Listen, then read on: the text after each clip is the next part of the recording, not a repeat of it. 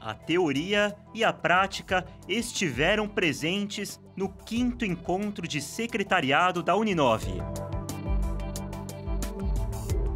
O curso de secretariado envolve diversas atividades. Entre elas está o conhecimento das rotinas administrativas, gestão de relacionamento e a organização de eventos corporativos. Este curso é a oportunidade delas vivenciarem contato com o mercado, conhecer as necessidades, trazer o palestrante, estruturar a apresentação, exatamente para elas começarem a viver na prática exatamente o que elas vão fazer no dia a dia. E organização foi o ingrediente principal do encontro, além de uma oportunidade para alunos trocarem experiências com profissionais da área.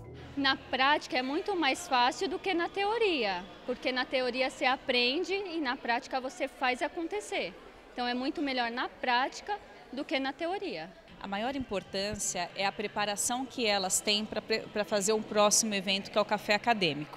Essa é a primeira experiência que elas têm em organizar um evento. Então, ele é a base para que o outro aconteça com mais excelência do que esse está acontecendo.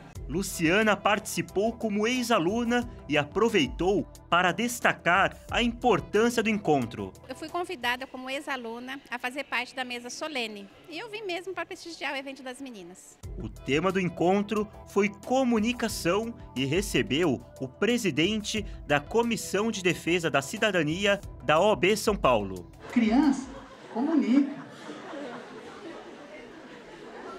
criança não tem essa coisa de não, vou falar. Ela fala o que ela pensa. E se a gente entender a criança, a gente começa a entender como funciona a comunicação para o secretariado, para esse curso, é essencial, né? porque ela vai falar com as pessoas que ela vai secretariar e o contato com várias pessoas durante o seu trabalho.